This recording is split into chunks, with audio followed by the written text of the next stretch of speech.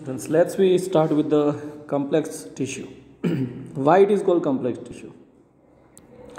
This is called the complex tissue, ju- complex tissue just because of these tissue are consisting more than one type of cells.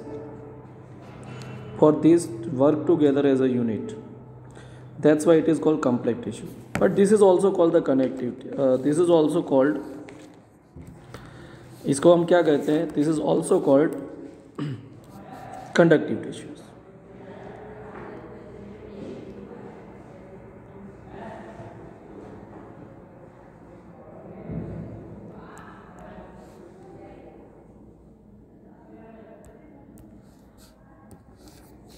this is also called the conductive tissue why it is called the conductive tissue because it conducts the for example xylem the xylem can be conduct the water and minerals from root to the stem stem to the rest of the part of the plants up to leaves and fruit. Same as the phloem can be conduct the nutrients. Okay. So let's we understand about the structure of xylem. So xylem will conduct the water and minerals from the soil and from transfer from root to the stem and the leaves. Okay generally xylem दो तरह के होते हैं। Okay and it is consisting the different type of elements compose of four different types of elements namely tracheids tracheid क्या होता है? This are the structure of tracheids the tapers toward the end और उस पर pores होते हैं।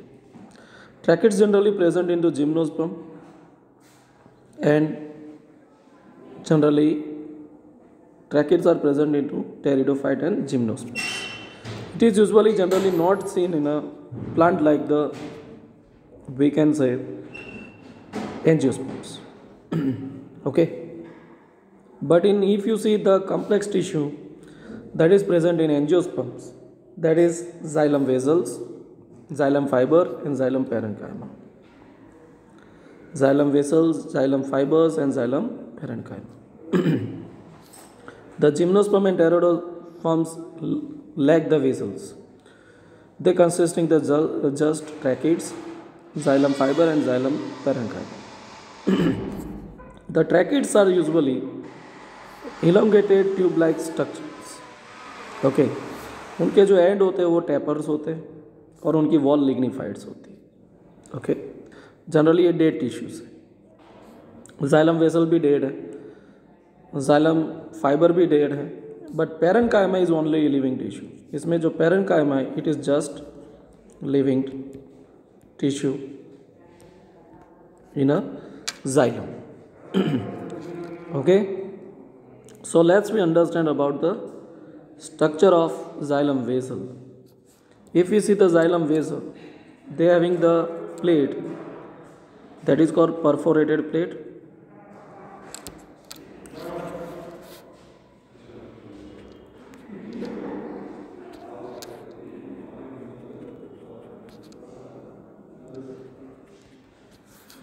the porous plate is present the xylem together forming xylem elements together forming the continuous pipeline इसके साथ क्या होता है that is present the xylem parenchyma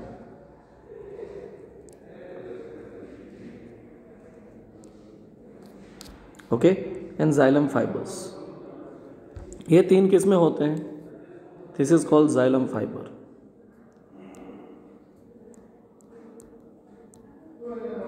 so these are present into the xylem of angiospermic plants इसमें xylem parenchyma के अलावा वो store करते हैं सब्सटेंसेस इसके अलावा कोई भी लिविंग टिश्यू नहीं है इसके अंदर कंडक्टिव टिश्यू के अंदर बाकी सारे डेड टिश्यूज हैं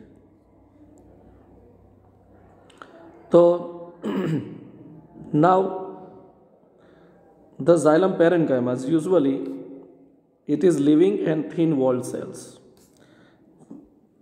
there cell wall are made up of cellulose and store the food like यहाँ पर फ़ूड का याद रखना आप, कि फ़ूड में वो क्या करते हैं?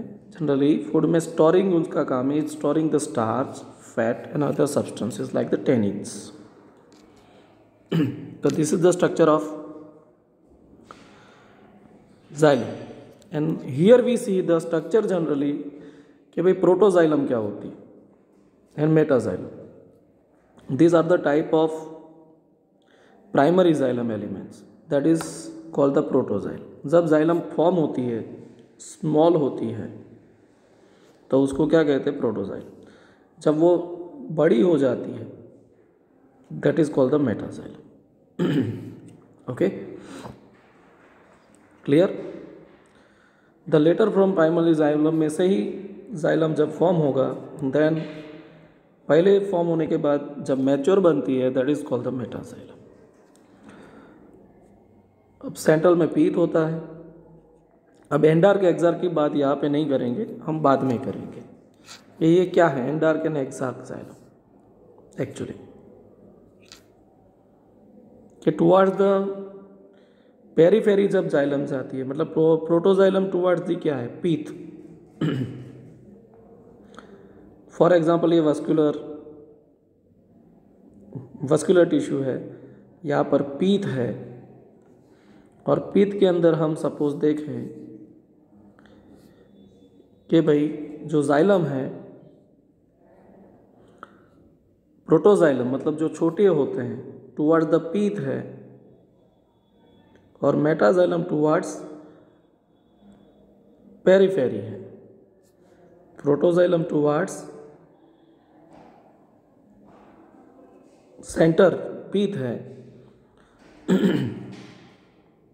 एंड मेटाजाइलम टुवर्ड्स पेरीफेरी है। तो इसको क्या कहेंगे? एंडार्क जाइलम कहेंगे। इससे उल्टा केस देख लेते हैं। That is we called okay इसका उल्टा केस हम जब देखते हैं कि उसका उल्टा केस क्या है? तो सी वाइल ये एक वस्कुलर वस्कुलर टिश्यू का है, या बीच में पीत है, ओके। अब मेटाजाइलम टुवर्ड्स, अरे प्रोटोजाइलम्स टुवर्ड,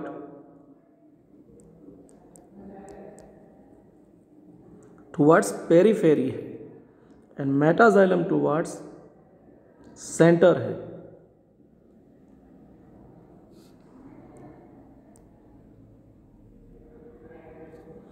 तो इसको क्या कहेंगे? एग्जार्क इसको समझने के लिए आप एग्जार्क एंड डार्क ले सकते हैं। That you have to keep in your mind okay exarch में हमेशा पोजीशन प्रोटोजाइलम ही आप दिमाग में रखेंगे तो भी चलेगा। कि पेरीफेरी पर प्रोटोजाइलम है तो एग्जार्क है सेंटर या तो पीत की तरफ़ है तो उसको क्या कहेंगे? तो जनरली रूट में एग्जैक्ट जाइलम देखने को मिलती है in a root in a primary structure in a stem generally बात करें स्टेम के अंदर एंड लीफ के अंदर एंडार्क देखने को मिलती है. Okay okay? ऐसा होता है? तो ऐसा नहीं होता। है जो स्टेम है सॉरी तो जाइलम की पोजीशन आपको मैं यहाँ पर दिखाता हूँ कि क्या होती है एंडार के एग्जार के हिसाब से। So let's we see the diagrams that is ground tissue we can see this one तो यहाँ पे you see that the metaxylem towards the centre है। एंड प्रोटोजाइलम देखो पोजीशन देखिए आप। बड़ी वाली कौन सी है? ये। और पीछे छोटी वाली है। तो इसको क्या कहेंगे? ओके? तो जनरली एज पर टर्मिनोलॉजी ये एग्जार्क हुआ। कि ये जो पेरीफेरी है, उसकी तरफ़ क्या है? प्रोटोजाइलम है। एंड मेटाजाइलम टुवर्ड्स सेंटर है। तो एग्जार्क बाहर से अंदर की तरफ़ इसका फॉर्मेशन हुआ है। तो ऐसे किसमें हम देखने को मिलते हैं हमको? See that this exarch will we are see के प्रोटोजाइलम टूवर्ड्स पेरीफेरी हो। ओके प्रोटोजाइलम्स टूवर्ड्स पेरीफेरी हो। Metaxylem lies toward the centre हो। तो एग्जार तो ये रूट में देखने को मिलता है इसे उल्टा स्टेम में एंड आर्क देखने को मिलती है। ओके अब फ्लोएम की बात करते हैं। The phloem transport the food material usually phloem of angiosperms is composed of sieve tube elements companion cell phloem parenchyma and uh, phloem. जैसे वहाँ स्क्लेरन कायमा थी फाइबर थे वैसे यहाँ पर फ्लोएम स्क्लेरन कायमा है तो फ्लोएम फाइबर है। वहाँ पे जाइलम फाइबर्स थे ओके अब this is the structure of phloem तो ये सीव पोर है and this is called sieve plate ये कौन सी प्लेट है?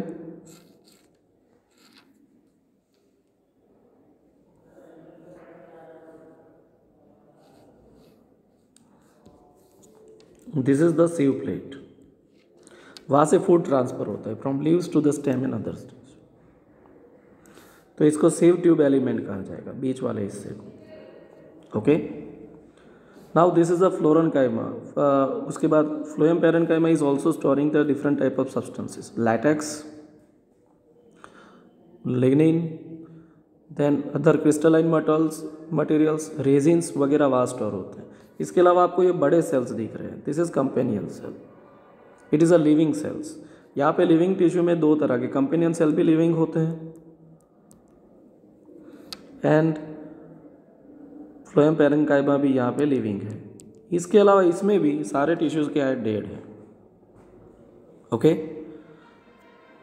So but only companion cell is present and sieve cell is present so companion cell absent होता है only sieve sieve cell and companion cell are present that is in to gymnosperm but angiosperm में ये total structure होता है। Sieve tube element phloem parenchyma companion cell and phloems sclerenchyma okay now let's we understand